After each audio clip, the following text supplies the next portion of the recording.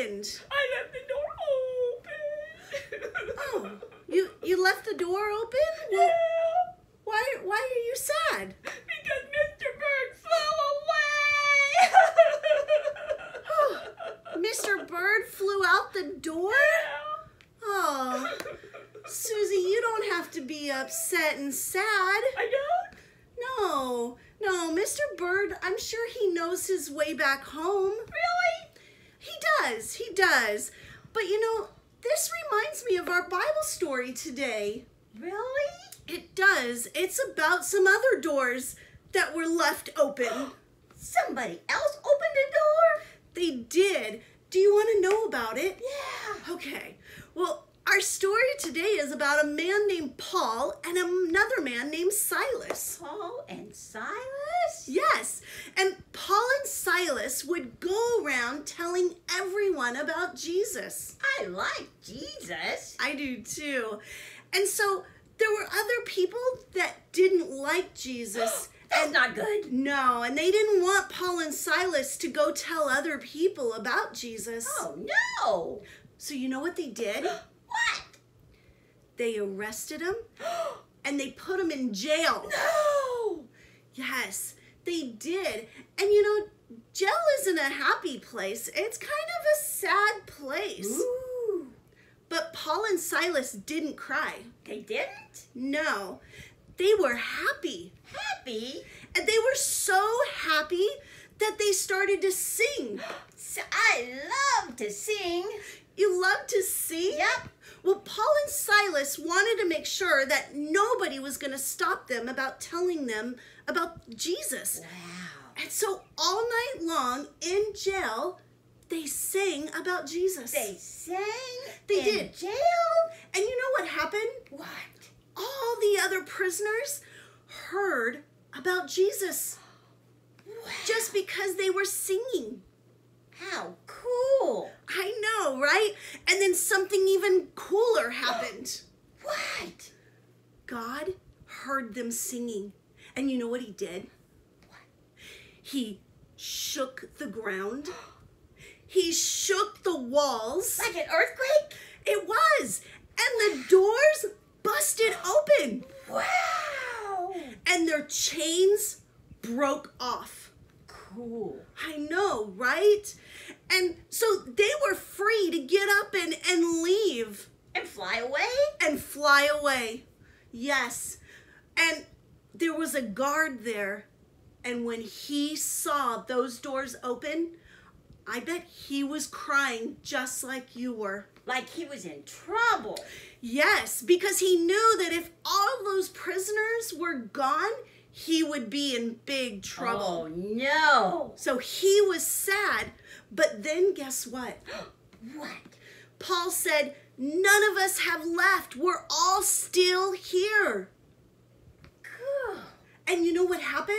What? What? That guard wanted to know all about Jesus. Oh my. Just like we want to learn more about Jesus. I like stories about Jesus. Every time we hear a message from God or, or we hear a Bible story, we learn more and more about Jesus. I like that. And we learn that no matter what, if we start feeling sad, we just have to sing and worship and praise God, and that joy and happiness will come inside. So we just have to sing. We just have to sing. Yes. Do you want to sing a song? Yes. Okay. What would you like to sing? Mm, let me think. Let me think. Ah, I know. If you're happy and you know it. Oh, I like that one. Do you guys know that one? Great. All right. Go ahead, Susie. Sing. Mm, if you're happy and you know it, pat your head. If you're happy and you know it, pat your head. If you're happy and you know it, and your face will surely show it. If you're happy and you know it, pat your head. Great job, Susie. Thank you so much for coming and, and getting to, to share the Bible story and hearing more about Jesus. Because I want you to remember, and I've been telling all my friends, that Jesus is my best friend. And he's your best friend too. My best friend. Yes, yes. So I'm so glad that you all got to come and and um, just spend some time with us. So we're gonna go, Susie. Let's go outside. Let's see if we can find Mr. Bird. Oh, good idea. All right. We will see you guys next Sunday. Bye, guys.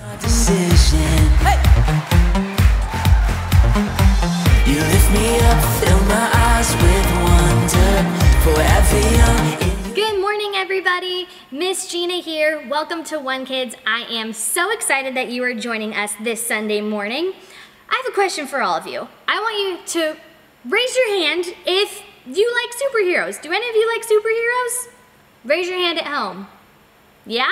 Some of you do? Who is your favorite superhero? Is it Superman or Batman or Captain America? Well, we're going to play a little game to kick off our service this morning. I have got a couple of clues, and based off of those clues, I want you at home to try to guess what superhero it is that I'm talking about. So I'll tell you three clues, and then wherever you are, I just want you to shout out as loud as you can who you think the superhero is. Cool, cool? Okay. First superhero, first clue. He sometimes races Superman. Clue number two, he is good friends with the Green Lantern. And clue number three, his superpower is amazing speed. Do you know who it is? It's the Flash! The Flash, he runs so fast, I think that he can like run around the world or something like that. I don't know. Did you get it right? Okay, we have one more superhero to guess. Are you ready? Clue number one. Him and his partner together are called the dynamic duo. Clue number two. The police commissioner shines a spotlight in the sky when the city needs help. And clue number three, his real name is Bruce Wayne.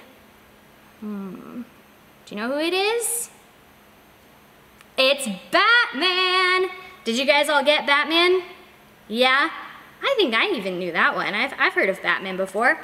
Man, superheroes are pretty cool, right? What are some things that superheroes do? We already mentioned a, a couple of things like the Flash, he can run super, super fast. Some superheroes, they have the power of invisibility, meaning they can be in a room without anybody seeing them. Some superheroes have super strength, and like the Flash, some are lightning fast. One thing that superheroes pretty much all have in common, though, is that they have one main job, and that's to protect. Right? Batman, he protects the people of Gotham City, and Superman, he protects the people of Metropolis, and the Avengers, well, they protect basically the whole world, I think. Superheroes, they protect people. That's what they do. Well, did you know that Jesus is better than any superhero? That means that Jesus will protect us way more than any superhero could. This month, we've been in a series called Go. Where did we say we're going? Well, we said we're going out into the world to live for Jesus and to tell other people about him. And last week, we talked about putting on the full armor of God. The armor of God, it protects us just like superheroes protect us from harm and, and they stop villains from hurting people. But God, He does way more than that. Here is our big idea for today God will protect my heart and my mind. let's go ahead and put some motions to that to help everybody remember, okay? So when I say God, you're going to point up. When I say will protect, you're going to put both hands on top of your head like this. When we say my heart, take your hands and put them over your heart. And when we say my mind, point to your head, to your brain inside your mind. Cool, cool? All right, let's put it all together. God will protect my heart and my mind. Great work, everybody. So the question is, how does God protect my heart and my mind? What does that even mean? Well, today we're going to look at the story of a man named Paul. Everybody say Paul. I'll tell you more about Paul in just a minute, but right now I want you to get up and grab your Bibles and turn to the book of Philippians, which is in the New Testament, so the second half of the Bible. And we're going to be in Philippians chapter 4. Go run and grab your Bibles. Remember what we said our Bibles were last week? The sword of the Spirit. So let's go and let's get our Bibles and let's open them up to Philippians chapter 4. We are going to read verses 4 through 9 this morning. And in this chapter, Paul, the guy that we're going to learn about, he actually wrote this book. He wrote Philippians. And he tells us some pretty important things in this chapter. All right, let's go ahead and read verses 4 through 9. Verse 4 says, Rejoice in the Lord always. I will say it again, rejoice. Let your gentleness be evident to all. The Lord is near. Do not be anxious about anything, but in every situation, by prayer and petition, with thanksgiving, present your requests to God. And the peace of God, which transcends all understanding, will guard your hearts and your minds in Christ Jesus. Finally, brothers and sisters, whatever is true, whatever is noble, whatever is right, whatever is pure, whatever is lovely, whatever is admirable, if anything is excellent or praiseworthy, think about such things. Whatever you have learned or received or heard from me or seen in me, put into practice, and the God of peace will be with you. So, there are a few things that stand out to me from these verses. Did you hear in verse 4, that very first verse that we read, where Paul says, Rejoice in God always? He even said it a second time. Do you know what the word rejoice means? Rejoice, it, it means to feel or show joy. Now, here's a question for you. Where do you think Paul was when he wrote this letter, when he wrote this book of the Bible? Where do you think he was? You think he was at school? Do you think he was at home? No? Guess what? Paul actually wrote this when he was in jail. In jail? Yeah, he was in jail for telling people about Jesus. And I don't know about you, but if that happened to me, if I got put in jail for telling people about Jesus, I don't think I really would have felt like rejoicing. I wouldn't have really felt like showing joy if I got thrown into jail. But Paul, he's telling us to rejoice in the Lord always. When life is hard, it can be really difficult to be joyful like Paul is telling us to be. It can be hard to go out and live like Jesus. But it is possible.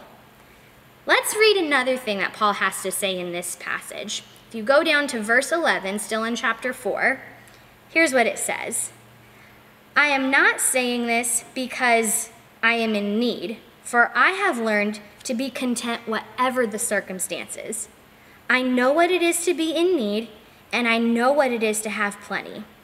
I have learned the secret of being content in any and every situation, whether well fed or hungry, whether living in plenty or in want.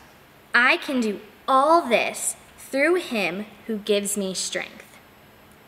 Paul says that he learned to be content. And being content, it means to be okay and at peace. Paul said he learned to be that way. He learned to be okay and at peace no matter what the circumstances were. So, how did he do that? Well, verse 13, it tells us that it was through God, right? Now, this verse where, where it says, I can do all things, all this through Christ who gives me strength, do you think that that, that means, you know, God would make it possible for us to shoot some crazy basketball shot or walk on the ceiling or things like that? No, that's not really what it means. What this verse means is that whatever the situation, whether good or bad, if we stay close to Jesus, Jesus will help us. And Jesus, He'll bring us joy no matter if things go our way or not. And Jesus will protect our heart and our mind. Maybe right now you're going through a tough time. I know I am. I am so tired of being at home and I miss my friends and I especially miss all of you, all of my friends at One Kids and at church. And it, it's sad because tough times happen in all of our lives, just like they did with Paul.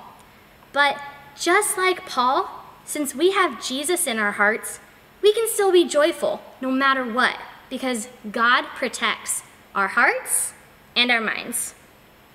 I want you to remember that this week. If, if you start to feel, you know, kind of sad or just kind of down, maybe a little bit frustrated about whatever the situation is, you know, it could be something as small as, oh man, mom asked me to do the dishes again, or man, I just, I can't get this one thing right that I'm trying to do. Just remember that when you have Jesus in your heart, He's there to help you because He protects your heart and your mind. Would you pray with me this morning? Dear Jesus, thank you so much for all of my friends who are watching this morning.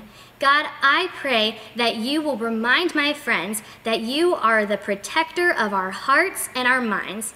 Help them to be joyful in all circumstances and remind them that you are always with them. We love you. In Jesus' name, amen. Okay, everybody, it is my favorite time of our lesson. It's time for Bible broadcast. I am super excited about this verse this week. It, of course, comes right from our lesson this morning, and it is from the book of Philippians, chapter 4, verse 4. So it's that very first verse that we read, which says, Rejoice in the Lord always. I will say it again, rejoice. Okay, now you know with Bible broadcast, all you got to do is memorize this scripture, have your parent record you saying the scripture, send it on over to us at One Kids, and we will post your video at the end of our video next week. It's so much fun to see our friends and to hide the word of God in our hearts. And this is really a great one to remember to rejoice in the Lord always, at all times. So I want you to try your hardest this week to memorize that scripture, okay? Thank you all so much for joining us this morning. Hang tight, we do have some discussion questions for you and your family that will be posted at the end of this video. But we can't thank you enough for joining us. I hope everybody has a wonderful week, and we'll see you next time. Ephesians chapter 6, verse 11. Put on the full armor of God so you can take a stance against the devil's tricks. Ephesians 6 11. Put on the full armor of God so that you may take your stand against the devil's schemes. Woo! Oh, yeah. Ephesians 6:11 Put on the full armor of God so that you can take your stand against the devil's schemes. eyes with wonder Forever young in